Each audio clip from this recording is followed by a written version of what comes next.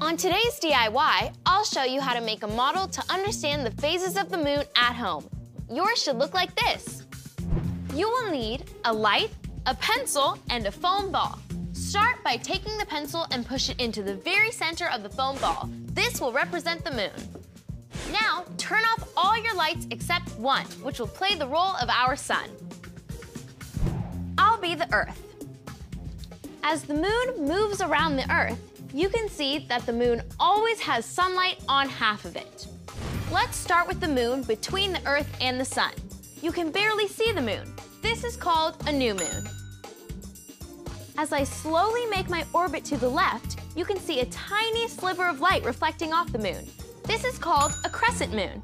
As I orbit, you can see more and more sunlight reflecting off the moon.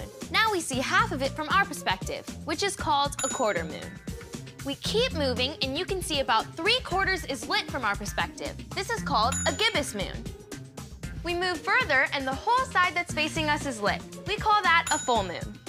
As the moon continues its orbit, we see the same phases in reverse order. For some extra fun, you can take pictures of each phase with a phone, or draw them, or use dark cookies with white frosting to make a super yummy scientific snack.